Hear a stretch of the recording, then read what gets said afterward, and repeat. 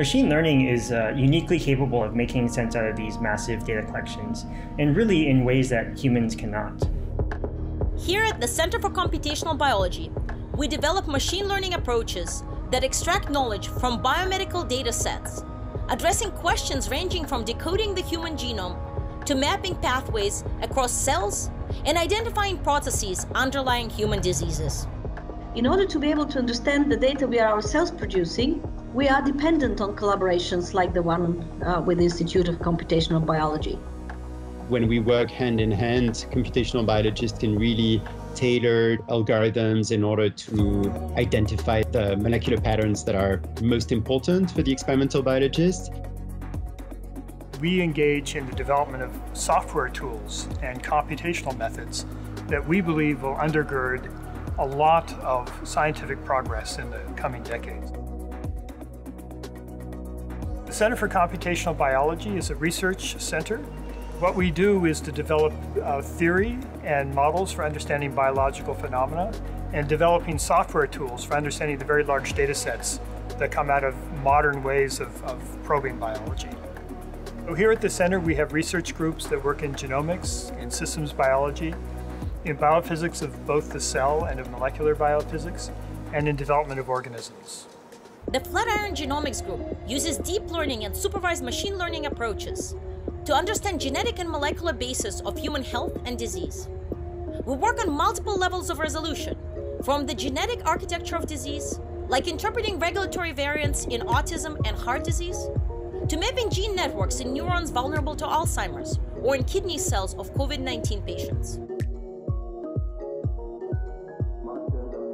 Our approaches are data driven, which enables unbiased generation of accurate predictions from large compendia of genomics and functional omics data to generate hypotheses, drive experiments, and analyze clinical datasets.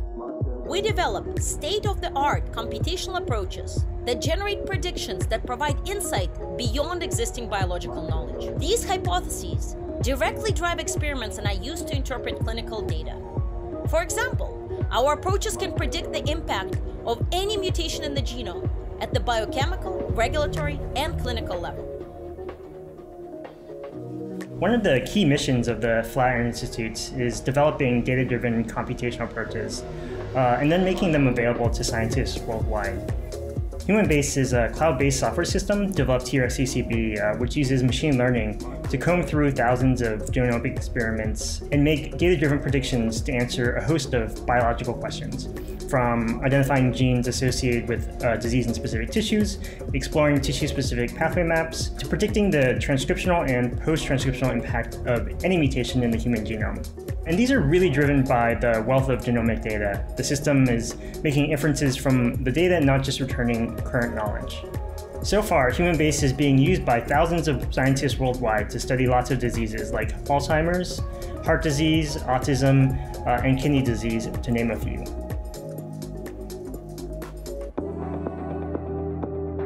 We're trying to understand why certain neurons uh, in the brain are dying very early on in Alzheimer's disease when we started to collaborate with the Troyanskaya Lab using networks, this allowed us to uh, really take a very big picture view of vulnerable neurons to understand at the systems level how these neurons are different from resistant neurons there's really been one failure after another for clinical trials in Alzheimer's disease.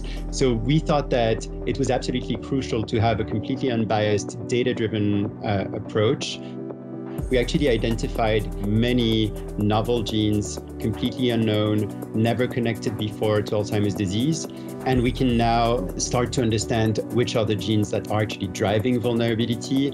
And these genes could probably be great therapeutic targets in order to halt uh, neurodegeneration Alzheimer's.